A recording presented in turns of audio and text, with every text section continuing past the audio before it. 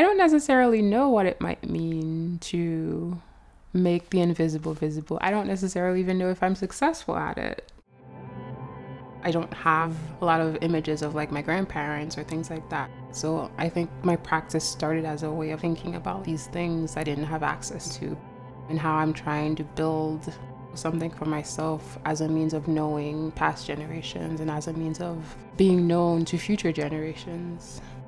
I think a lot about migration, specifically migration from the Caribbean. My generation is the first generation to have moved across to the US, and so a lot of my work deals with that intergenerational knowledge, intergenerational trauma. In 2013, I went back to Haiti for the first time since moving here. I was making work about my family who I hadn't seen in a long time, and that sort of like propelled where my practice has gone since then. I started looking to find like my grandmother and my grandfather, like images of them, and there weren't any. I was just photographing everything religiously, and so I would photograph where I went and everyone that I was with. So I ended up coming from that trip with like this insane amount of like images. I draw on these photographs for the images that I end up making the core of my work is photography, and then I add on different mediums like sculpture, video, sound, and installation as well. I have been thinking about not necessarily having everything being visible for the viewer, maybe having certain obstacles. That's where part of the sculptural elements come into play. And I've always thought about like my photographs as these kinds of windows windows into different people's lives, different time periods as well. And so slowly but surely it became something that I wanted to make physical. Some of it I think I'm using as a way of like flattening time within my work. Thinking of ways where like different generations in my family can exist together in a space. I never met my grandmother, I never met my grandfather. And so I want the space to be a space where like maybe the impossible happens, like the impossible meetings happen.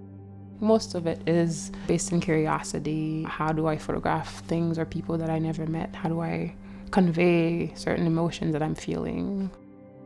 I'm referencing like this image of my mom on her wedding day. I'm sure she viewed like this day. Well, actually, I don't know how she viewed the day, but I keep thinking about like how she must have felt during that day and how that was like the beginning of like a different part of her life. And so I wanted to recreate, but also update this image that could reference my mom or myself as well. Thinking about that image, but making something new. I've been making these night pictures lately, thinking about stories that I've been told as a kid when I was in Haiti, specifically the Lugau. This creature, this person looks fine during the day, but at night they transform into like this other animal form and come to your house and stalk your baby. And so I've been really interested in this, like, I wouldn't say myth, but things there's not necessarily photographic evidence of. And so part of it is still thinking about this belief that's like ingrained in me in some way. Even when I went back to Haiti in 2013, I would not leave the house at night. And so I wanted to like make photographs that reference things that just stay with you despite geographical distance, despite time distance. Maybe part of it is me trying to reconcile this belief from when I was a kid to where I am now as an adult, but also as an adult living in the US that doesn't necessarily have the same belief systems. I don't have access to Haiti right now, and so where can I find the closest thing within the US? LA for me has always been that spot. Even when I was living in New York, I would come here to shoot just because aspects of it remind me of Haiti the colors, architecture as well, the plants specifically, because so many of the plant lives that I'm drawn to are based on these memories I have of like different flowers as a kid. These parks offer these little pockets of land where I can just visualize this kind of like fake Haiti onto it. I'm drawn to Debs Park partly because of this area where there's this pond, but also like this pocket of light that I think gives me room to create these sort of magical and at times surreal images.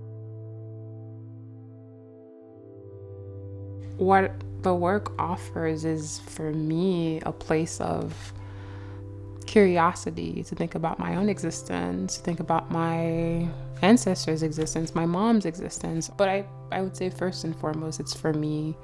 Um, as a means of like having proof that I existed.